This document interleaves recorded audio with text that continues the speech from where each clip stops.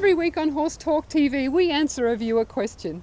This week, Sharon writes Every time I canter my horse on the lunge to warm him up at a show, he gets excited and rushes and pulls and is hard to slow down.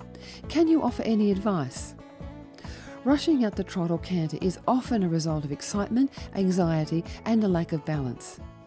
The problem with dragging at the lunge rein to slow a rushing horse is it can cause your horse to stumble, or it can reduce the size of your circle to a point where it leads to strained tendons and joints.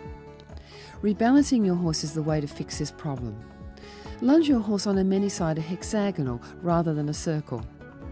Every time your horse speeds up, give a gentle, firm tug on the lunge rein to create a little right angle corner. Then let the horse canter or trot on. When the horse rushes again, create another little right angle corner. The reason this works is the gentle tugs force the horse to step underneath its body with its inside hind leg, which leads to collection, which in turn leads to balance and self carriage. It's balance and self carriage that lead to calmness, and the horse will slow down and relax on the lunge.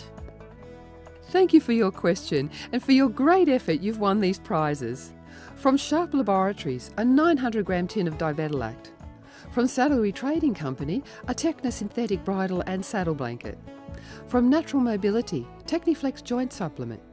From Tough Rock, Tough Rock poultice. From Jeep, a Jeep sports cap